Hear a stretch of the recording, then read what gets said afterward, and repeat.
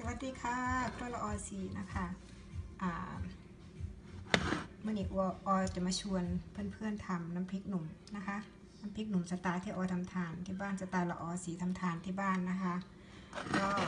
เดี๋ยวเรามาดูกันนะคะว่าออใส่เครื่องอะไรบ้างนะคะ สวัสดีค่ะเพื่อนละออสีอีกแล้วนะคะเนาะอ่า วันนี้ออจะมาชวนเพื่อนๆทำน้ำพริกหนุ่มสไตล์ที่ออทำทานที่บ้านนะคะ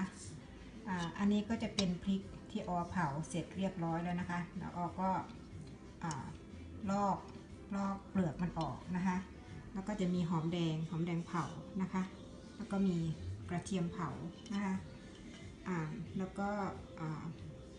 น้ำอ่อน้ำปูนะคะ อันนี้เป็นน้ำปูนะคะ แล้วก็เกลือนะคะ ก็อ่าจะใส่รสดีไปด้วยนิดหน่อยนะคะ แล้วก็จะใส่น้ำตาลไปด้วยนะคะ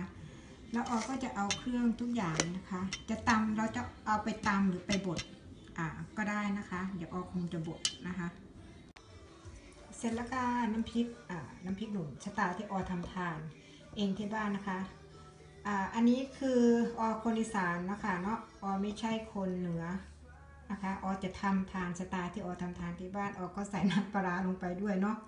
คนอีสานชอบทานน้ำปลาเนาะอ่าก็หยอดใส่ไปหน่อยนึงพอให้มันมีรสชาติ